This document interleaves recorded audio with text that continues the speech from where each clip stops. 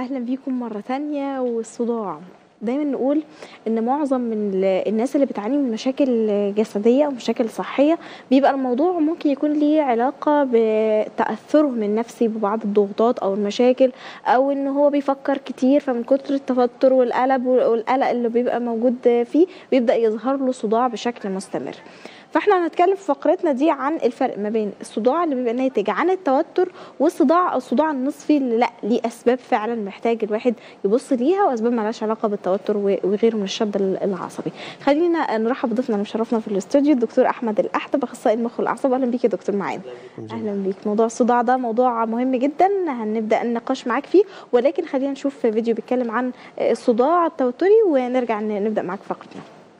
الصداع التوتري هو أكثر أنواع الصداع انتشاراً وهو عبارة عن ألم حاد ينتشر في الرأس. ينتج عن تقلصات العضلات في الوجه والرقبة وفروة الرأس ويعد التوتر هو أكثر المحفزات المتكررة شيوعاً لنوبات الصداع التوتري. من أهم علاماته وأعراضه شعور بضيق أو ضغط يحيط بالجبهة أو على جانبي ومؤخرة الرأس. الشعور بالألم عند لمس فروة الرأس والرقبة وعضلات الكتف. يصنف الصداع التوتري إلى فئتين رئيسيتين عرضي ومزمن يستمر الصداع التوتري العرضي مدة 30 دقيقة وحتى أسبوع كامل. أما الصداع التوتري المزمن مدته 15 يوما شهريا أو أكثر. مهم قوي نعرف الفرق ما بين النوعين دول لأنه ساعات كتير ممكن يكون حد عنده أسباب وجيهة للصداع بس بيتقال له بس أنت كل اللي عندك إنك عندك مشكلة نفسية ضغط عليك أو بتفكر كتير فعندك صداع بشكل مستمر. عايزين نعرف يا دكتور إيه الفرق ما بين الصداع الشقيقة وما بين الصداع التوتري؟ أهلا وسهلا بكم أهلا اولا. بيك شرفنا يعني بصراحة هو موضوع كتير مهم وهو آه، فعلا. يعني أحد أهم الشكايات اللي بيراجع فيها المريض عيادة طبيب الأعصاب أو حتى عيادة الطبيب العام. هي شكاية الصداع وحتى أقسام الإسعاف نسبة حوالي 4% من المرضى بيجوا مشان الصداع فقط لا غير يعني. ال- بصراحة هو أكبر نوعين من الصداعات اللي بنشخصهم عند الأمراض هو الصداع التوتري والصداع الشقيقة. الصداع التوتري هو الإش- التشخيص الاشيع على الإطلاق كسبب للصداع. ال- اللي نميز بينه وبين الشقيقة في مواصفات مختلفة جدا بين الصداعين بتخلينا بسهولة نميز بين ال- النوعين من الصداع. الصداع التوتري مثل ما ذكروا بالفيديو السابق بيصيب الإنسان بحدود ال 15 يوم في الشهر. مدة نوبة الصداع بتكون من نصف ساعة إلى عدة ساعات. عادة نوبة الصداع التوتري ما بيرافقها إقياء غثيان إزعاج من الصوت من الإزعاج من الضوء. المرافقات طبيعة الصداع بالصداع التوتري المريض بيوصفه أنه في ثقل برأسي أو في شيء شادد على رأسي. آه. حتى ممكن يقول لك كأنه أنا حاطط شريط على رأسي هون وشادة علي. مربوطها جامد صحيح. تماما الأسباب الصداع التوتري طبعا أحد الأسباب هو التوتر النفسي ولكن هو قد لا يكون وجود قد لا يكون توتر نفسي موجود عند الإنسان أساسا ويصير عنده صداع توتري. بسبب التوتر أو الشده اللي بيصير بعضلات الرقبة أو عضلات فروة الرأس ممكن يصير الصداع التوتري عند الإنسان سوء استعمال الرقبة هو من أحد أهم أسباب الصداع التوتري لما تتشنج عضلات الرقبة وتشنجها يمتد لعضلات الفروة عند الرأس فبيصير الإنسان عنده الصداع هذا وكثير بتصير عند الناس اللي بيستعملوا الموبايلات غلط لفترة طويلة اللي بيقروا بيكتبوا. المهن تبعهم. تتضمن إنه أنا دوما راسي نحو الأسفل مهن الخياطة أو النجاره أو ما شابه يعني. ودول بيبقى عندهم بشكل مستمر. ساعات ممكن الواحد يقوم كده من النوم يبقى نام بشكل غلط فيحس إن هو مصدع طول اليوم. هل آه، ده ممكن يكون مرة ولا ممكن يكون يتسبب في إن الواحد يصدع فترة طويلة؟ لا الصداع التوتري لحتى نقول إنه هو آه، المريض هذا مريض صداع توتري. ما هو صداع بيجي مرة أو مرتين في الشهر أو ثلاث مرات في الشهر وبيروح فقط يعني. آه، هو صداع لازم المريض يعاني منه أقل شيء 15 يوم في الشهر لنقول عنده صداع توتري. ما هو صداع؟ في شيء اسمه الصداع الاعتيادي اللي بيصير لأسباب عارضة. نمت نومي غلط فزيت مزعوج متضايق. هذا أمر عارض بيجي وبيروح. أما اللي بيعاني من صداع 15 يوم في الشهر هذا الصداع التوتري آه يعني صداع توتري فترات طويلة نص الشهر تقريبا عنده صداع. ولو بشكل متفرق. يعني مو نص الشهر متواصل يعني بس ولكن عدد نوبات الصداع عدد أيام اللي بيجي فيها صداع هي تقريبا نصف الشهر بدها تكون حتى لو منقطع يعني مش ال طبعاً. 15 يوم ورا بعض. ولكن نص طبعاً. الشهر بشكل متقطع أو بشكل يوم ويوم لأ يومين ويوم آه المهم إن هو بيجي له صداع فترات طويلة جدا من ال ال الشهر طيب بيبقى بنفس أعراض الصداع اللي إحنا عارفينه يا دكتور ولا زي ما حضرتك قلت كده كأن حد رابط دماغه كده هي؟ أعراضه تماما هي إنه المريض عنده ألم في الرأس الألم طبيعته كأنه في شيء شادد على الرأس في آه. ثقل بالرأس بدون أي مرافقات أخرى عادة. ممكن يرافقه بس ألم بالرقبة أو ألم بالأكتاف بس أكثر من هيك لا. بينما صداع الشقيقة صداع كينونته مختلفة تماما. صداع الشقيقة لحتى نقول المريض عنده صداع شقيقة بده يكون عنده على الأقل خمس نوبات من صداع ذو مواصفات محددة.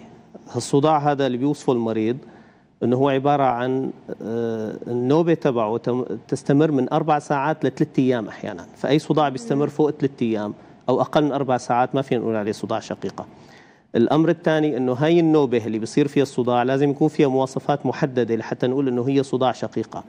فالصداع لازم يكون نابض يرافقه آه، ال- ال- الخوف من الضياء أو الخوف من الصوت بنسميها بالإنجليزي الفوتوفوبيا والفونوفوبيا لازم يكون الصداع بالغالب وحيد الجانب. عايزين نفهم يعني إيه الخوف من الصوت أو من الضوء؟ طبعا ال- اللي هو لما يكون في صداع شديد جدا عند آه. المريض فبيقول لك إنه أنا الضوء ما بيريحني بيزيد الصداع لازم آه. أقعد بمكان آه. معتم. آه مش خايف أو- منه أو- بس بيضايقه يعني. تماما آه. إزعاج. خلينا نقول هو المشكلة المصطلح الأجنبي الفوتوفوبيا. أيوة، الفوبيا هي أيوة. الخوف.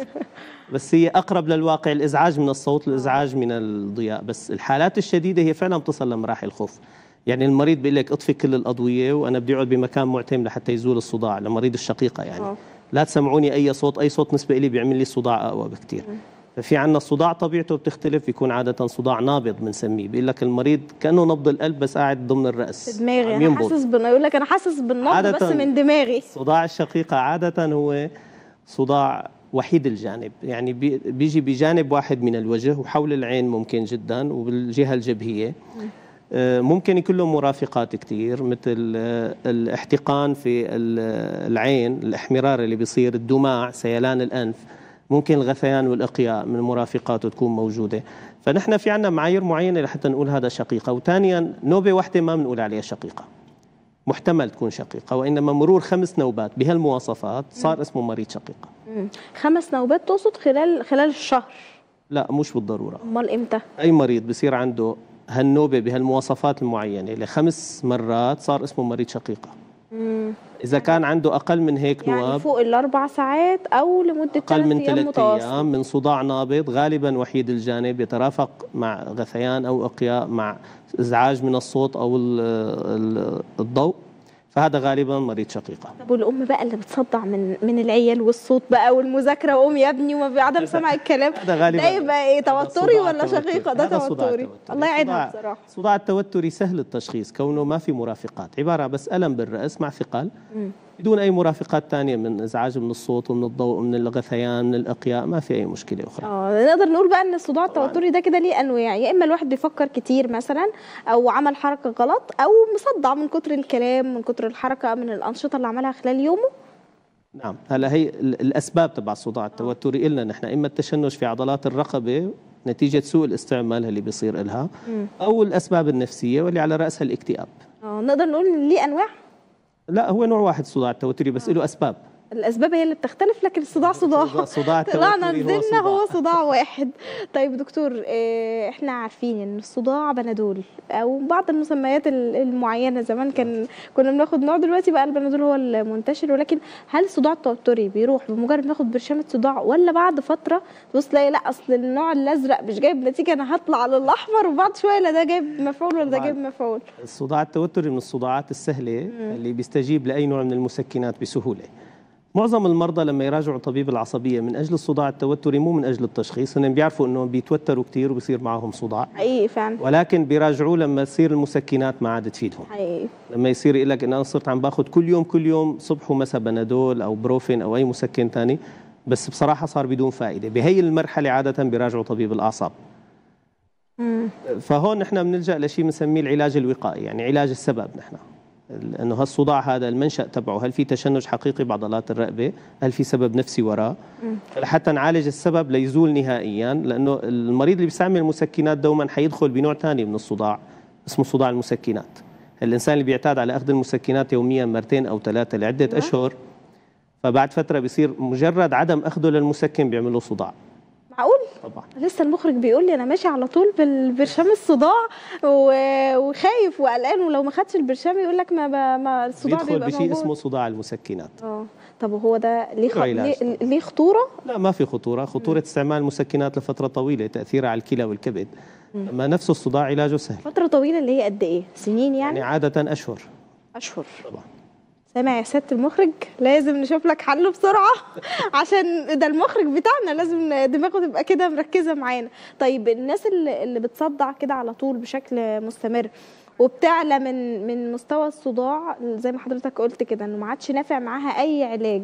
فبتروح للدكتور وبيبدأ يعالجها. قلت إن ليه علاج؟ طب بيعالجها إزاي؟ ما هي أصلا ما بتتعالجش غير لما تاخد برشام آه طبعا. الفكرة هي إنه علاجات الصداع ما هو الجزء ال- الجزء المفيد فيها هو المسكنات عادة؟ علاج السبب. آه يعني بالنسبة للصداع التوتري فقلنا إذا في تشنج بالرقبة بدنا نعالج التشنج. ممكن نعمل تصوير للرقبة نشوف شو المشكلة شو السبب أو نعطيه نصائح يبتعد عن الإجهاد اللي عم يساويه لرقبته الوضعيات الخاطئة. وندور على السبب النفسي الموجود إذا كان في قلق في توتر في اكتئاب كمان. لهيك هلأ معظم الأدوية اللي بتعالج أساسا الصداع التوتري المراحل الخفيفه منه اللي سببها سوء استعمال الرقبة هي المرخيات العضلية بس ارتخت عضلات الرقبة بيروح الصداع. ممكن حتى بدون أدوية ممكن إرخاء العضلات بالعلاج الفيزيائي بمساجات بالإبر الصيني أي أي وسيلة حتى غير دوائية ترخي العضلات بيروح الصداع. ال- أما إذا كان سبب نفسي فالعلاج دوما بالأدوية النفسية اللي بتعالج القلق والاكتئاب لا يبقى خلينا في الصداع. يعني لو هروح أعالج الصداع بأدوية نفسية يبقى ارحم لي الصداع.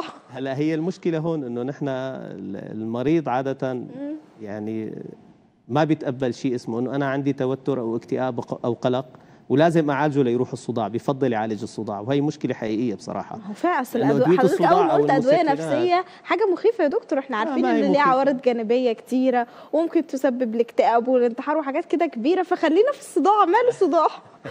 هلا معظم المرضى بيسألوا تقريبا نفس السؤال إنه أنت هلأ حتكتب لي مضاد اكتئاب ولو هو لعلاج الصداع التوتري ولكن أنت حتدخلني بقائمة طويلة من الأعراض الجانبية للدواء فالجواب بسيط. إنه أنت هل قرأت الأعراض الجانبيه للباراسيتامول؟ ما حدا قرأها. لو قرأتيها ما بتاخدي. مم. يعني كل الأدوية في النشرات الداخلية بتاع اللي في اللي معاها كلها في لها آثار جانبية مزعجة.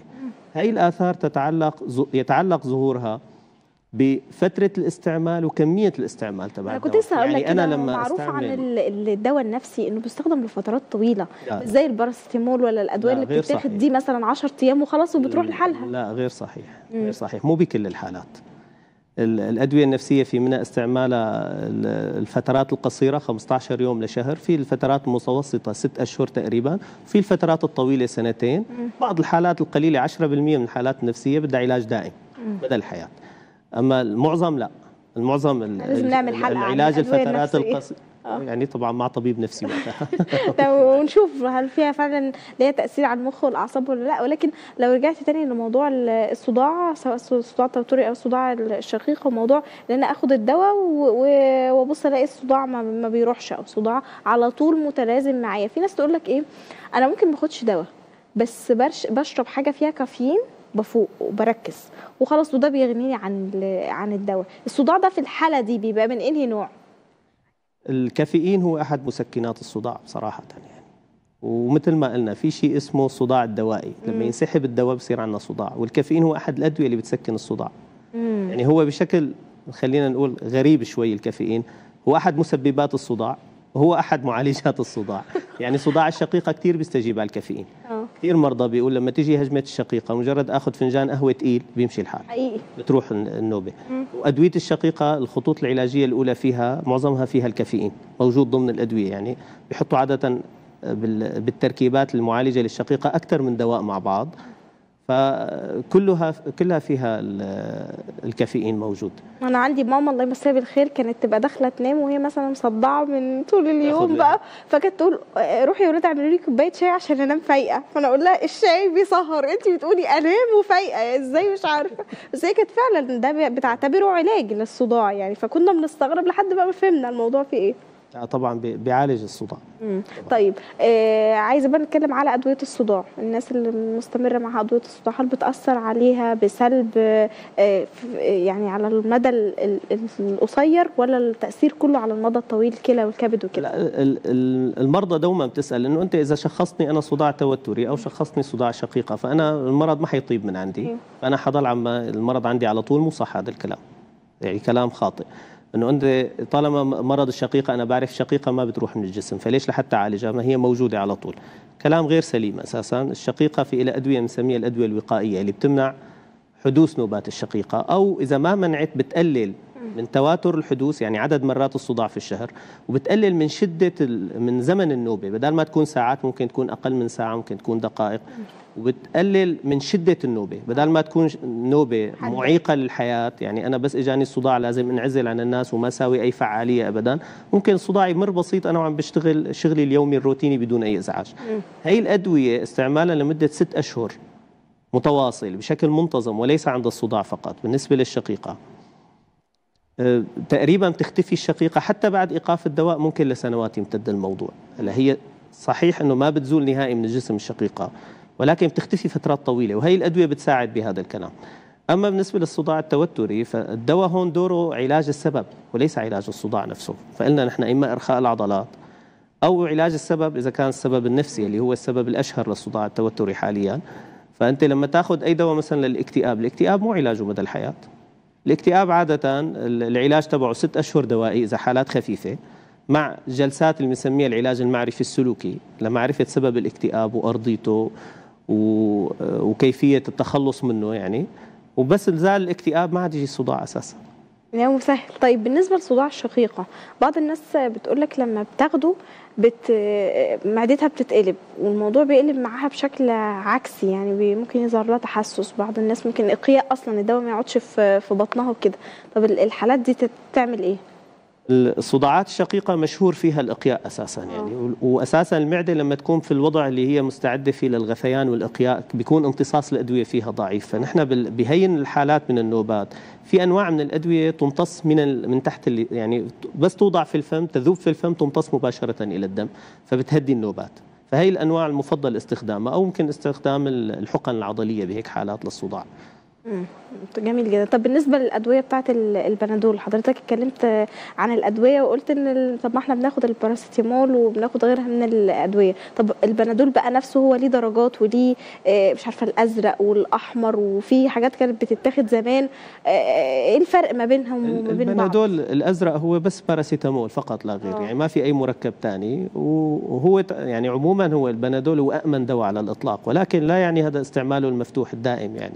لأنه له مع الزمن أذية كبدية يأثر على الكبد. ال- الجرعة المسموحة منه عادة قد تصل ببعض المرضى ل 1 جرام يعني حبتين مع بعض أربع مرات في اليوم بس لفترات محدودة. هي جرعة آمنة تعتبر. أما استخدامها على المدى الطويل بده يؤذي الكبد حكما يعني. ال- الأدوية الثانية ال- البنادول الأحمر أنت هون عم تحكي عن باراسيتامول مع كافيين. الكافيين هون دوره كمسكن للصداع زائد بيزيد امتصاص الباراسيتامول بيزيد الفعالية تبعه. الأدوية الأخرى المشهورة باستعمالها بالصداعات الإيبوبروفين والديكلوفيناك هاي الأدوية أذيتها الكلوية عالية وأذيتها وتسببها بقرحات المعدة عالي كمان. الأحمر. ولا لا بتتكلم هون عم على نحكي عن أدوية أخرى ليس البنادول آه. أنا عم نحكي عن البنادول الايبوبروفين مم. والديكلوفيناك لأنه كثير ناس تفوت على الصيدلية بتطلبهم وبتاخذهم بدون أي آه، وصفة طبية. مم. يعني حتى في بعض الدول ال- البنادول والإيبوبروفين ديكلوفين هدول موجودين في السوبر ماركت حتى.